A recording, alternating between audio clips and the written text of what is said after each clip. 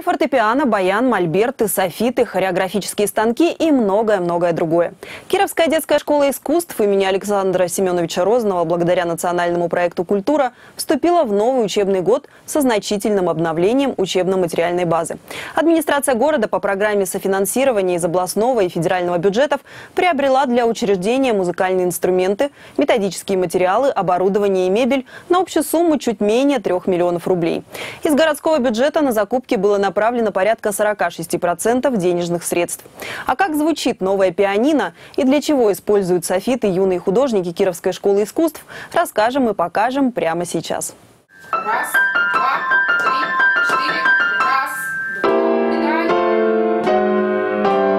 Ксения Мазуренко занимается в музыкальной школе уже девятый год. Сейчас все силы брошены на подготовку к поступлению в музыкальное училище. Испытания предстоят серьезные, конкуренция очень большая. Но цель поставлена. Музыкой занимается ее мама, сестра преподает здесь же в школе. У девушки есть твердое намерение продолжить династию. И новый инструмент в плане столь серьезной подготовки как нельзя кстати. Он очень красивый, вот. Он, у него более чистый звук, мне кажется. У него более легкое нажатие клавиш. Вот. И мне он прям больше понравился. А если бы глаза закрытые были, отличила бы новый инструмент от старого? Думаю, да. И по нажатию, и по звучанию он отличается. У нас э, на данный момент в школе э, два замечательных, шикарных инструмента.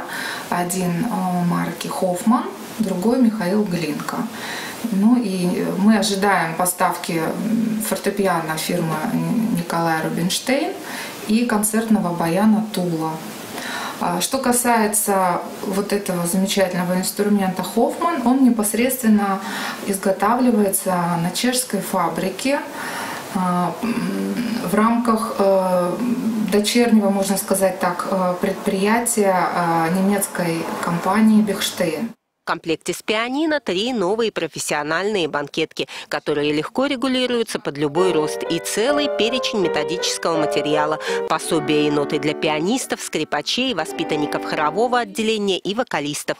Кстати, в классе у хоровиков в рамках реализации нацпроекта появилась интерактивная доска, незаменима при изучении теории и в обучении интонированию. Не менее важные и нужные поступления для отделения хореографии, ролл-шторы на окнах и новые профессиональные станки.